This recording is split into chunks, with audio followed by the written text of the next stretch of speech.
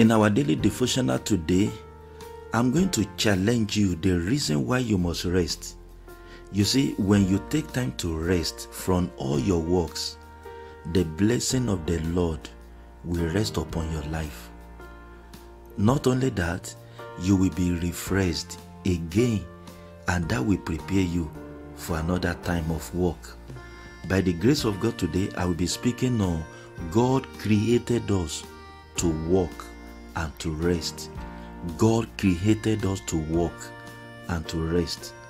My scriptural reading today is taken from the book of Mark, chapter 6, verse 30 to 31. This is an account of the disciples when they returned from the mission, they came to Jesus, and Jesus was telling them the importance of rest. Let's read the word of the Lord together. The word of God says, The apostles returned to Jesus from their ministry tour and told him all they had done and taught. Then Jesus said, Let's go off by ourselves to a quiet place and rest a while. He said this because there were so many people coming and going that Jesus and his apostles didn't even have time to eat. There is something I want you to know today. You see, in our quest for gain and glory, in our quest for success and greatness in life, we tend to want to walk and walk and walk without rest. You see, that is a manifestation of greed and selfishness. I want you to know that God has factored the principle of rest into our physical alignment. A continuous violation of this principle will lead to burnout, it will lead to breakdown, and we may suffer irreparable damage as a result. God created us to work and to rest. As you plan your work, you should also plan your rest. This is how to program yourself to live long in life. In our text today, it was our Lord Jesus that initiated the plan for himself and his disciples to rest. Look at what the Bible says in verse 31.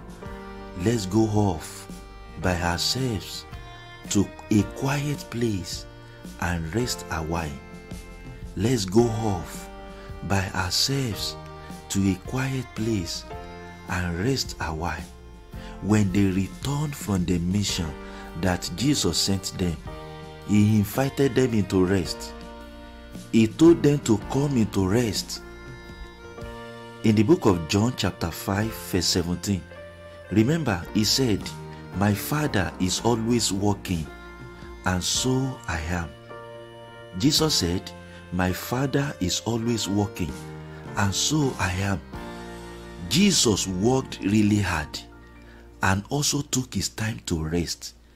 You see, God created us to work and to rest. You can see from the book of John, chapter 5, verse 17, Jesus said, My Father is always working, and so I am. But at the same time, as he worked really hard, he also rested. We are created to work and to rest. This is to be following the example of God Almighty Himself. He worked for six days and rested on the seventh day. After he ended all his works in six days, God took his time to rest from all his works on the seventh day. In the book of Genesis, chapter 2, verse 1 to 3, the Bible further says that so the creation of the heavens and the earth and everything in them was completed. On the seventh day, God had finished his work of creation. So he rested from all his work, and God blessed the seventh day and declared it holy because it was the day when he rested from all his work of creation. You are created for work and for rest. As you plan for your work, at the same time, you need to plan for your rest. You can see that it is very clear that when you take time to rest from all your works, the blessing of the Lord rests on you. You are sanctified and refreshed in the presence of the Lord. I want to advise you today to plan for your daily rest, your eight hours that you have for yourself. Plan for your weekly rest, one whole day out of seven that you have for yourself. Plan for your annual rest. You need to take some time off your work to relax and renew your thinking process. Let me tell you this truth to plan and factor rest with your agenda will keep you healthy. You will be relaxed, you will be focused and productive, and you will live long. I will close by reading the book of Exodus, chapter 20, verse 9 to 10. The word of the Lord says, You have six days each week for your ordinary work, but the seventh day is a Sabbath day of rest dedicated to the Lord your God. On that day, no one in your household may do any work. This includes you, your sons and daughters, your male and female servants, your livestock, and any foreigners living among you. God wants you to walk and rest. As you plan for your work, at the same time, you need to plan for your rest. God wants you to walk and He wants you to rest. Today, do you need the rest of the Lord?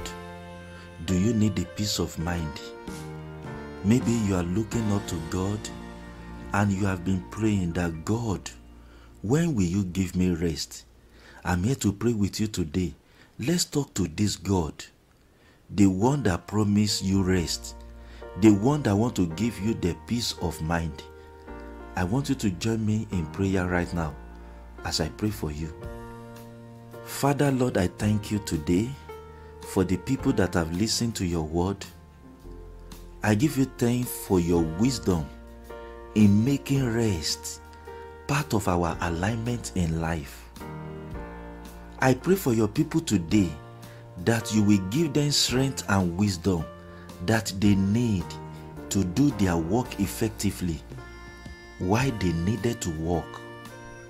And I also pray that you will bless them with your heavenly wisdom that will help them to plan effective rest for their lives.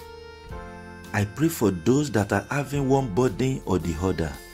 Lord, give them rest today. I thank you because you will answer this prayer. In Jesus' mighty name, amen. Thanks for listening to this message.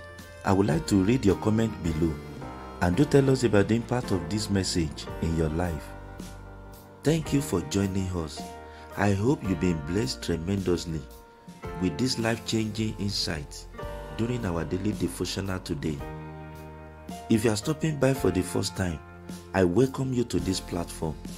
Please consider subscribing to this channel if you have not done so before and remember to share this message with your friends, with your family, and your loved ones. Thanks for doing that. If you would like to be notified of our new uploads, click on the bell icon when you subscribe and remember to turn on your notifications. God bless you. Till I bring the word of the Lord to you next time, I'm Rinde Gbenro. Bye for now. God bless.